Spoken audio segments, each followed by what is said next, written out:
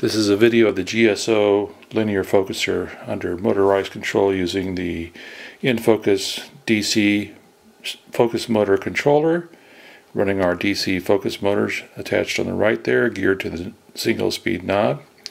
If you watch the left side of the frame where the double speed knob is shown you can see it's clicking along at a low speed fully user selectable and we can instantaneously kick it into high speed by pressing both knobs down on the nFOCUS. See smooth, even control. And here it is going in the opposite direction. Gradually see the low speed knob turning in very small, very precise stepping. And again kicking it into high speed mode by holding both of the knobs down.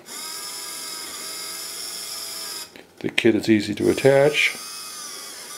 Adjusting the red knobs on the right side can return the focuser to manual operation or tightening those red knobs engages the motor for smooth and accurate motorized focusing.